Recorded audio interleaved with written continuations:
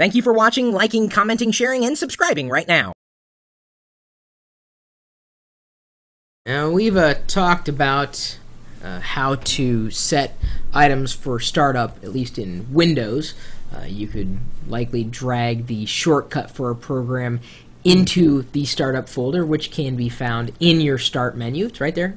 Click the start button and go up to programs, or in some cases, you have to click the all programs if you happen to be using Vista, and then look for the startup folder, drag a shortcut to a program directly in there, and then that program will launch on Windows Startup. Of course, some programs have an option where you can say, click here if you want to run this program on startup, but not every program does that. That's why Windows provides you a startup folder.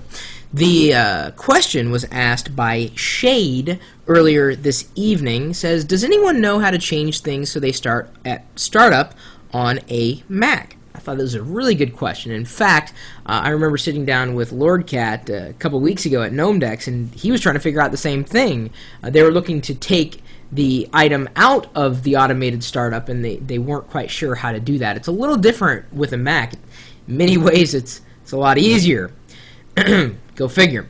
So what I'm going to do here, instead of uh, zooming in, is I'm going to flip uh, the uh, uh camera stream over to the desktop on uh, my OS 10 uh, installation. this is the computer that's currently running my live stream. I use OS 10, and it's as simple as this, quite honestly.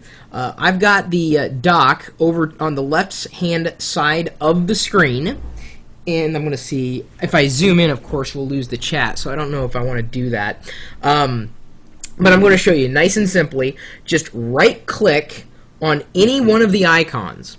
And of course, if you don't have a right mouse button, uh, you could use the double tap if you've got a keypad, or if you have a Mighty Mouse, you can uh, set up the Mighty Mouse uh, to pretend to be a, a, right mouse button and be a right click, a context menu.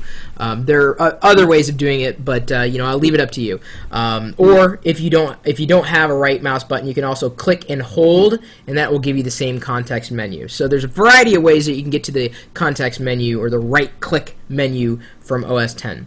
One of the options in there is going to say open at login. Huh. That's all it takes. You just, uh, there's no check mark next to it, you select that option, and uh, it'll open at login. And then if you want to take it out of login automatically, you just go in and you uh, select it again. So let's say I wanted to run QuickTime Player. Uh, I'd say open at login. Or if I wanted to run Comic Life, open at login. It's that easy. It's crazy easy. Ha, it's insanely easy. But of course, if you want more management, you can open up your system preferences, and going into the accounts option, or I guess a panel, uh, depending on how you uh, want to describe it, or what the official word is. I'm still unclear, but I can tell you this is how you get there. This gives you a full list of the items that will run on startup. In fact, you can choose to hide them. From here, you can press the add button if you want to do it the hard way, uh, and then go and browse for uh, a program and say, oh, I want to run Onyx uh, on startup or Omni Outliner or the maintenance or iWeb or Safari or Sherlock or the Sling player. Uh, it'll then once you press add, it will be added to the list. There we go. There's a Sling player application. Uh, and then if you want to take it off, you just press the minus button uh, as you're uh, hovering over it, and that's just about it. Uh, that's all it takes to manage the login options inside of OS 10.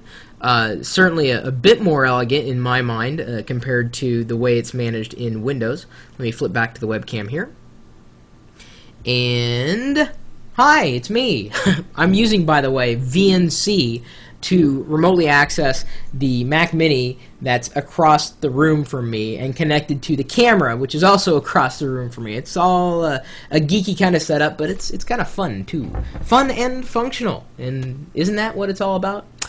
Well, anyway, if you have any other uh, ways of managing login items either inside of Windows or OS 10 or maybe even Linux as well, by all means, we're looking for recommendations. Uh, if you choose to use any utilities at all, uh, certainly, I'm sure people, well, at least Shade, want to know the answer to that question. And Shade, hopefully, that was the answer to your question. Uh, we'll uh, take any other questions you might have. You can email me, chris at pirillo.com. Of course, you're also welcome to swing by the chat room anytime, day or night, after you've watched a few of our videos. And I know you're watching our videos because every single hour of every single day, I get an email from one of you saying, I've been watching your videos on YouTube. Well, what are you waiting for? Stop by the chat room. We're there, talking. Or in some cases, people are talking at me and sometimes I'm busy doing other things, but I know other people are not busy uh, or may not be as busy enough to answer your question if you happen to have a question or if you just want to hang out. I mean, do you do you have a place that you normally hang out? I mean, I don't know. Maybe they, just, I'm just saying you can come here. That you know, TX Nana tells you.